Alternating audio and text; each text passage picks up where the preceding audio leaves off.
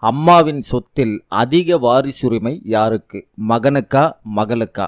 மகன்களே உஷார் மகள்களே டபுள் உஷார். அம்மாக்களின் சொத்துரிமை பற்றி ஒரு சிறிய ஃப்ளாஷ்பேக் பெற்றோர் தன் பெண்ணை வளர்த்து நகைகள் போட்டு திருமணம் முடித்து வைத்தவுடன் தங்கள் கடமை முடிந்தது என்று தங்கள் சொத்தில் பங்கு தராமல் மகனுக்கு மட்டுமே கொடுத்திடும் பழக்கம் குடும்பங்களில் பல நூற்றாண்டுகளாகவே இருந்து வந்தது. இந்த நிலையில் ஆயிரத்தி தொள்ளாயிரத்தி ஐம்பத்தி ஆறில் இந்து வாரிசுரிமை சட்டம் அமல்படுத்தப்பட்டது. அந்த சட்டத்தின்படி குடும்பத்தின் சொத்தில் பெண்களுக்கும் சமபங்கு உண்டு என்று அறிவிக்கப்பட்டது.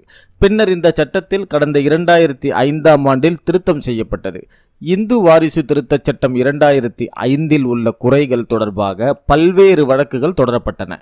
இந்த விவகாரத்தில் சட்ட ரீதியான பல பிரச்சனைகள் எழுந்தது. உச்சநீதிமன்றத்தில் தனம்மா என்ற பெண் தனது சொத்துரிமை கோரி வழக்கு பதிவு செய்தார். தனம்மா எதிர் சுமன் என்ற வழக்கில் உச்சநீதிமன்றம் பெண்களின் சொத்துரிமைக்கு ஆதரவாக தீர்ப்பளித்தது நல்லதொரு தொடக்கத்தை தந்தது. ஆயினும் குழப்ப நிலை மட்டும் நீடித்த வண்ணமே இருந்தது. இதற்கிடையே டெல்லி உச்சநீதிமன்றத்தின் ஒரு வழக்கின் சொத்துரிமை தீர்ப்புக்கு எதிராக உச்சநீதிமன்றத்தில் மேல்முறையீட்டு மனு தாக்கல் செய்யப்பட்டது. அந்த வழக்குதான் வினித் சர்மா எதிர் ராகேஷ் சர்மா. இந்த மனுவை நீதிபதிகள் Arun Mishra S. Abdul Nazeer M. R. Shah ஆகியோர் அமர்வு விசாரித்தது. இந்து கூட்டு குடும்ப சொத்தில் மகளுக்கும் சம உரிமை உண்டு என்றும் ஏற்கனவே இந்து வாரிசுரிமை சட்டம் ஆயிரத்தி தொள்ளாயிரத்தி ஐம்பத்தி ஆறு மகள்களுக்கு வழங்கிய சட்ட உரிமை இன்றும் செல்லும். பெண் மகளுக்கு சொத்தில் சம உரிமையை மறுக்க முடியாது என்ற அற்புதமான தீர்ப்பை உச்சநீதிமன்றம் வழங்கியது.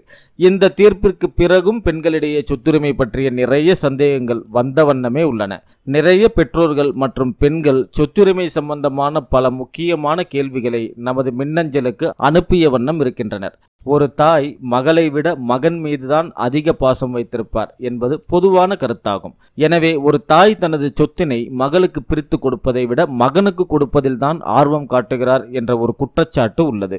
இந்த நிலையில் அம்மா பெயரில் உள்ள நிலத்தை அம்மா தாமாக தர முன்வராத நிலையில் அதை மகள்கள் உரிமை கோர முடியுமா? தாயார் தன் பெயரில் உள்ள சுயமாக உழைத்து சேர்த்த சொத்தை மகள் அனுமதி இல்லாமல் விற்க முடியுமா? தாய் சுயமாக சம்பாதித்த சொத்தில் மகள் பங்கு கேட்டு வழக்கு தொடுக்க முடியுமா?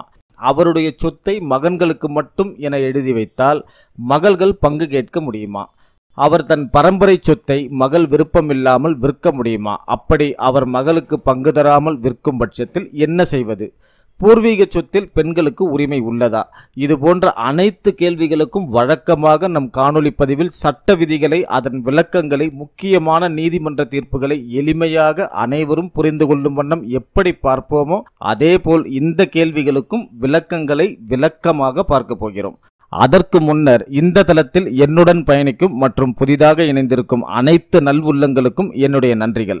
தளத்தில் இதுவரை சப்ஸ்கிரைப் செய்யாதவர்கள் உடனடியாக சப்ஸ்கிரைப் செய்து கொள்ளுங்கள். கூடவே அருகில் உள்ள பெல் பட்டனையும் கிளிக் செய்து கொள்ளுங்கள். அப்பொழுதுதான் நாம் இடும் பதிவுகள் ஒவ்வொன்றும் உங்களை உடனடியாக வந்தடையும். சரி வாருங்கள் இப்பொழுது நாம் பதிவிற்குள் செல்வோம்.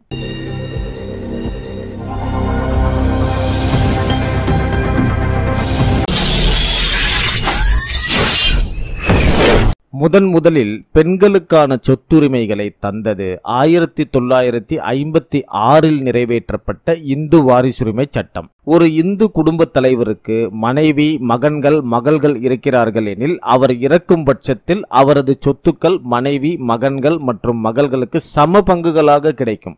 இதில் அனைவருக்கும் சம உரிமை உண்டு. ஆரம்பத்தில் பெண்கள் தனது தந்தை வசித்து வந்த சொந்த வீட்டில் பங்கு கேட்கும் உரிமை இல்லாமல் இருந்தது. ஆனால் இரண்டாயிரத்தி ஐந்தில் வந்த சட்ட திருத்தத்தின்படி பெண்கள் தனது தந்தையின் வீட்டில் அவர் காலத்திற்கு பிறகு பங்கு கேட்கும் உரிமை வழங்கப்பட்டது. ஒரு பெண் இறக்கும் பொழுது அவள் பெயரில் இருக்கும் அனைத்து அசையும் மற்றும் அசையா சொத்துக்களில் அவளின் கணவர் மற்றும் பிள்ளைகளுக்கு சம பங்கு உண்டு. ஒருவேளை அவளது கணவனும் இறந்துவிட்டால் அந்த பெண்ணுக்கு எத்தனை மகனும் மகளும் இருக்கிறார்களோ அத்தனை பேருக்கும் சொத்தில் சம பங்கு உண்டு. ஒரு பெண்ணுக்கு கணவனும் இல்லை குழந்தைகளும் இல்லையெனில் அவளின் சொத்துக்கள் அனைத்தும் அவளின் பெற்றோருக்கு செல்லும். ஒருவேளை பெற்றோரும் உயிருடன் இல்லையெனில் அவரின் அப்பாவின் வாரிசுகளுக்கு அந்த சொத்துக்கள் போகும். அவருடைய அப்பாவின் வாரிசுகளும் இல்லையெனில் அம்மாவின் வாரிசுகளுக்கு சொத்து செல்லும். கணவரோ குழந்தையோ அல்லது பெண்ணுக்கு அவளின் தாய் மற்றும் தந்தை மூலம் பரம்பரை சொத்து கிடைத்தால் அவர் தந்தையின் வாரிசுகளுக்கு அந்த சொத்து கிடைக்கும். அதேபோல கணவரோ குழந்தையோ இல்லாத பெண்ணுக்கு அவளின் தாய் மற்றும் தந்தை மூலம் பரம்பரை சொத்து கிடைத்தால் அவள் தந்தையின் வாரிசுகளுக்கு அந்த சொத்து கிடைக்கும். அதே போல கணவரோ அல்லது குழந்தையோ இல்லாத பெண்ணுக்கு கணவர் மற்றும் மாமனார் மூலமாக சொத்து கிடைத்தால் அது அவளின் காலத்திற்கு பிறகு கணவரின் வாரிசுகளுக்கு செல்லும். ஒரு பெண்ணிற்கு இரண்டு வகைகளில் சொத்து உரிமையாக வாய்ப்புள்ளது. ஒன்று தனது சுய சம்பாத்திய பணத்தை கொண்டு தனது பெயரில் நிலம் வாங்குவதன் மூலம் அவருக்கு சொந்தமாவது. இரண்டாவது மூதாதையர் நிலத்தினை அவர்கள் இறந்த பிறகு வாரிசு என்ற அடிப்படையில் பெறுவதன் மூலம் அவருக்கு சொந்தமாவது. இதில் ஒரு தாய் தனது சுய சம்பாத்திய பணத்தை கொண்டு தனது பெயரில் வாங்கும் நிலத்தினை அவர் தாமாக தர முன்வராத நிலையில் அதனை மகள்கள் சட்டப்படி உரிமை கோர முடியாது. ஆனால் மூதாதையர் நிலத்தினை அவர்கள் காலமான பிறகு வாரிசு என்ற அடிப்படையில் ஒரு தாய் பெற்றிருந்தால் மகள்கள் பூர்வீக சொத்தில் பாகப்பிரிவினை கோரலாம். இந்து கூட்டு குடும்பத்தில் எப்படி ஒரு ஆண் பிறந்ததும் அவனுக்கு அந்த குடும்பத்தின் சொத்தில் உரிமை உள்ளதோ அதேபோல் அந்த வீட்டு பெண்ணுக்கும் பிறக்கும் பொழுதே சொத்தில் உரிமை உள்ளது. பூர்வீக நிலத்தில் மகளுக்கு உள்ள உரிமை பற்றியும் இப்பொழுது நாம் பார்த்து விடலாம். அது பரம்பரை நிலமாக இருந்தாலும் உதாரணத்திற்கு மகளின் தாத்தா பெயரிலோ தந்தை பெயரிலோ இருந்து அவர்கள் அம்மாவிற்கு தான செட்டில்மெண்ட் எழுதி வைத்திருந்தால் அந்த நிலம் அம்மாவிற்கு மட்டுமே சொந்தம். அவர் யாருக்கு வேண்டுமானாலும் எழுதி வைக்கலாம். மாறாக மகளின் தாத்தாவோ அப்பாவோ இறந்து அவர்கள் காலத்திற்கு பிறகு மகள் மைனராக இருந்து அம்மா வாரிசு சான்றிதழ் வாங்கி நிலத்தை தன் பெயருக்கு மாற்றினாலும் அது பரம்பரை சொத்தாக கருதப்படும். அந்த நிலத்தில் மகள் உரிமை கோரலாம். சில மாதங்களுக்கு முன் ஒரு தனியார் தொலைக்காட்சியில் ஆண்களிடம் எந்த மாதிரியான மனைவி உங்களுக்கு வேண்டும் என்று கேட்டபொழுது அனைவருமே தங்களது தாய் போல் பாசத்துடன் இருக்க வேண்டும் குடும்ப பாங்காக இருக்க வேண்டும் என்று கூறினார்கள். அதே கேள்வியை பெண்களிடம் எந்த மாதிரியான கணவர் வேண்டும் என்று கேட்டார்கள். அவர்கள் கணவர் கார் வைத்திருக்க வேண்டும் பைக் வைத்திருக்க வேண்டும் வங்கியில் பத்து லட்சம் ரூபாய் இருக்க வேண்டும். இவைகளுடன் முக்கியமான கண்டிஷன் ஒன்றும் போட்டார்கள். அதாவது கணவனின் தாயார் வருங்கால மாமியார் உயிருடன் இருக்கக்கூடாது என்று கண்டிப்பாக கூறினார்கள். வரதட்சணை பற்றி கேட்டபொழுது ஆண்களில் பெரும்பாலானோர் வரதட்சணை வாங்காமல் திருமணம் செய்து கொள்வேன் என்று கூறினார்கள். ஆனால் பெண்கள் தங்கள் பெற்றோர்கள் வரதட்சணை கொடுக்க வேண்டும். வந்த வரைக்கும் லாபம் என்று அதை நான் வாங்கிக் கொள்ள தயங்க மாட்டேன் என்று கூறினார்கள்.